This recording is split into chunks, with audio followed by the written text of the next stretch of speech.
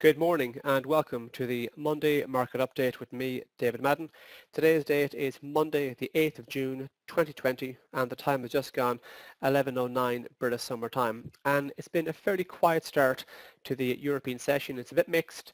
Um, uh, the FTSE 100 was above 6,500. Uh, we're just, about, just dipped back below that. Um, we're seeing small gains uh, on the DAX in Germany and the CAC 40. Sorry, apologies. We're seeing small losses rather uh, on the um, on the continental markets. Um, but I suppose low volatility and a bit of a lackluster session is probably the best way to characterize what we've seen in trading this week. Um, keep in mind um, we had you know some small gains were registered in Asia overnight, but at the back end of last week, uh, the U.S. non-farm payrolls report was the kind of the talk of the town. Um, it had a well, very well received number and we saw decent moves to the upside in European as well as European stocks. so we had a bit of a, so, so the carry on for the Asian session was it was a bit slightly positive and it's a bit mixed here in Europe today. Um, taking a look at what we what we saw out of the US at the back end of last week, uh, going into the report, the headline non-farm payroll figure was tipped to show a decline of 8 million jobs in the month of May. In fact, it came in at an increase of 2.5 million. Now keep in mind the April figure um, was revised higher, so something somewhere in the region of 20.68 million people lost their jobs in April. So obviously the US labour market is in a terrible state. It's it's nowhere near as strong as it was before the COVID-19 crisis. But the fact that um, two and a half million jobs were created in May is an indication that you know you know what maybe the worst is over. This could be the turning point uh, for the um, for the U.S. economy and the kind of the wider kind of global economy because other economic indicators we've seen um, services figures, manufacturing figures that which came out in the past seven or eight days have all shown kind of signs that things are are still terrible for the month of May in terms of economic activity rates, but they're a lot better than what they were in April, which is which is absolutely appalling. So this feeds into the wider narrative that economies, governments are loosening their lockdown restrictions and economies are opening up and things are getting better. Uh, hence why we saw, you know, you know, why we've seen um, multi-month gains in some European European markets. For example, the FTSE 100, uh, we, we, we've seen levels, multi-month gains being backed up on the, you know, in American indices and even some cases, uh, looking at the NASDAQ 100, all-time highs uh, being racked up. Uh, also, in the last um, in the last say 24 hours, 48 hours, we've had some trade figures out of China, and to be fair, they were fairly disappointing. Uh, imports were uh, were fairly. There's a sharp decline in imports, and it came in worse than expected. Uh, but China is a big importer of commodities, so it's quite possible that the kind of the dollar amount that was spent on, on the dollar amount that, um, that that China imported in commodities was more down to the fact that commodity prices agricultural products, energies, metals was actually weaker rather than actually pure demand. Uh, on top of that, uh, Chinese exports uh, declined in May by over by over three percent, a decline of 3.3. Keep in mind, in April we saw an increase of over a surprise increase, which might be down to, to the um, to China selling medical equipment to the, basically the rest of the world. So demand around the world seems to be a bit weak, um, but at the flip side, internal demand in China may not be as weak as the headline inflation, headline import figure would suggest. Uh, over the weekend, uh, OPEC Plus uh, agreed to, be, to ever so slightly tweak the historic or the extremely deep production cuts that they currently have in place. The current production um, guide, the current production agreement is, has seen 9.7 million barrels per day being taken off the market in terms of output. Um, that's and then going that's in you know that was in May it's also in June. When we get into July that's going to change from a decline of 9.7 million to a decline of 9.6 million. So ever so slightly change Mexico are opting out of it. Other members of the uh, OPEC plus agreement who are who have committed to the 9.6 million barrels per day decline in output they will they will have to comply with it. Uh, and if they don't comply with it in July, they're going to have to kind of make up for it in August and September. So OPEC Plus are very serious about um, everyone uh, following the, um, toeing the line, as it were. In addition to that, uh, in the, in the last couple of days, We've heard from Saudi Arabia who are increasing their selling prices, the, the, rate at which, the price at which they sell to others the, the price at which they're selling to, uh, to Asia was the largest uh, increment uh, seen in at least 20 years. Selling prices to other other areas around the world uh, has also increased. So with that, we've seen you know firmer oil prices, which I'll be covering uh, Brent crude later on in today's update. Uh, so let's have a look at what's going on in the markets. Take a look now. Um, we can see here at the FTSE 100, this is a very common theme, has been a nice upward trend for the last few months, a nice series of higher highs and higher lows.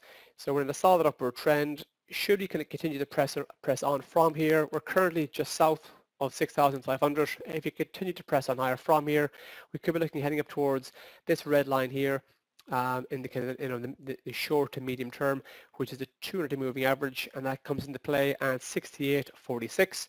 Uh, any moves to the downside might find some support from this yellow line here, which is the 100-day moving average, and that comes into play at 63.58. Uh, and even if you have a fairly sizable break below that, support could be found from this area here in around 62.32.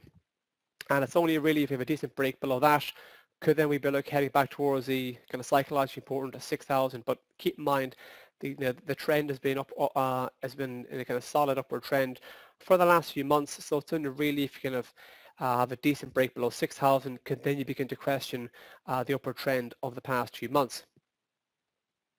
And now take a look at what's going on over in Germany. Fairly uh, similar situation there in Germany, whereby we've seen the DAX press higher for the last number of months. We, are currently trading in the DAX uh, around 12,790 there, thereabouts, just, just south of 12,000 uh, just not, not too far away from 12,800. If you continue to press on higher from here on the DAX, the next big level to keep an eye for will be 13,000, big psychological number, something that markets will obviously be, traders will be, will be kind of uh, fixated on. So if you do see a bit of a pullback, where could we potentially find some support? We could see support come into play from this red line here, the 200 moving average, and that comes to play at 12,134 it's often that that metric, 200 moving average, is often kind of used as a good barometer for is a market strong or is it weak. We're comfortably above it, so it suggests that, that the markets are strong. But if we do see a pullback down towards that area, we could see a fresh buyers enter the fold. Even if you do take um, drop below it, that would necessarily kind of, kind of completely negate the recent bullish trend of the last few months. If we move below the 200 moving average, support could be found from the 100-day moving average. We can see here, this, which is this yellow line here, and we can see on a few occasions in late May and into early June, it acted nicely as support. And if a metric has acted as support in the past, it makes it likely that will act as support in the future, but there's obviously no guarantees. Uh, and that comes into play just south of 11,500. Uh, we talked about, mentions the US markets uh, at the be beginning of this video, which I'll look at now. I'll have a look at the Dow Jones. We're obviously a few hours away from the cash trading situation over in New York, but it looks looks like we're going to open up uh, on the cash when once cash trading gets underway in, in New York. It looks like we're going to uh, open up at levels last seen in late February. So we're talking multi-month highs. That's a you know that's a clear indication of how, how kind of bullish and how strong sentiment is. So we're, we're expecting the Dow Jones to open up around 27,222, there, thereabouts. If we press on higher from here, keep an eye on this, this line here in around 20, this line here, which comes to play at 28,164. Uh, if you do drift lower from here, support could be found from the 200 moving average, which comes into play at 26,351. And if you, if you have a decent break below that, we could find support from the 100-day moving average, similar to the NAX, in around 25,152 for the same reason that, you know, it didn't quite, it was, didn't act as perfect support, but we saw a bit of consolidation in around that region. Um, so once again, if a metric has been important in the past, it makes it more likely it'll be important in the future. And now for the last uh, index I'll cover of today, I'll take a look at the S&P 500 similar situation to the DAX. It's been in a, uh, well, similar situation to the FTSE, the DAX, the Dow and the Dow Jones. It's been pushing higher for the last number of months. The cash, once cash trading gets underway, we could we could be looking at setting uh, a new multi-month high. We could be looking at setting levels last seen in in late February. So sentiment is, is clearly strong.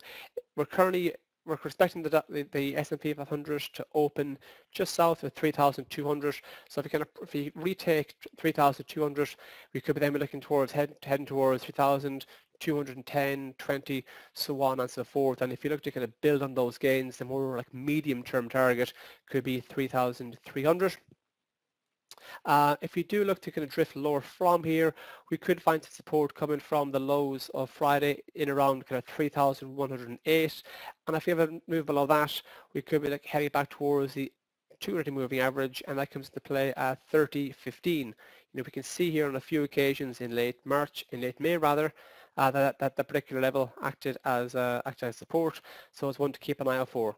Um, you know, one, one of the kind of common themes I want to just, just mention here across the, the FTSE 100, the DAX, the Dow Jones and the S&P 500, they've all been pressing higher um, and they've all essentially either today or, or in the last few days have set multi-month highs. And why, why, why I'm pointing that out is that one of the tenets of Dow theory is that the averages must confirm each other, which essentially says markets that are similar to each other, you would expect those markets to be moving in a similar direction. And as we can see here, they're all moving in a nice upward trend. And on top of that, they've all been setting multi-month highs. So if you're trading one of those four indices, uh, you, you, you, know, it is worth your while keeping an eye what the other ones are doing.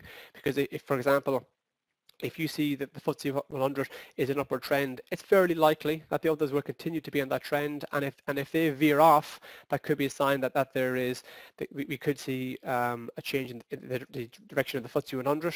Um, but also, if markets are all moving higher together, it makes it more likely that that kind of that, that particular trend, in this case, an upward trend, is going to continue. Now, what I'll do now is I'll move on to currencies look a look, uh, take a look initially at euro dollar and then pound dollar.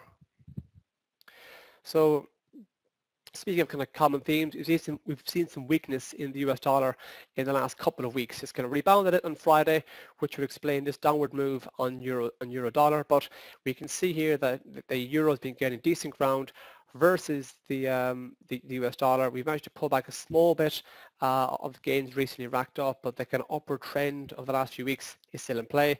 Should we continue to press on higher from here on euro dollar, we could look at targeting 114 and a move beyond 14 could take us up towards the highs of early March in around one spot 14.95.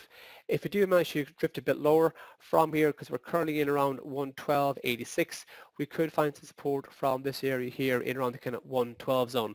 And it's only really if, if you have a decent break below that could then we be looking heading back down towards this red line here, which is the 200 moving average, and that comes to play just north of 110, which in, in itself is a big uh, psychological number. A fairly big, uh, a fairly big metric to keep an eye out on for euro dollar. So taking a look now at pound dollar.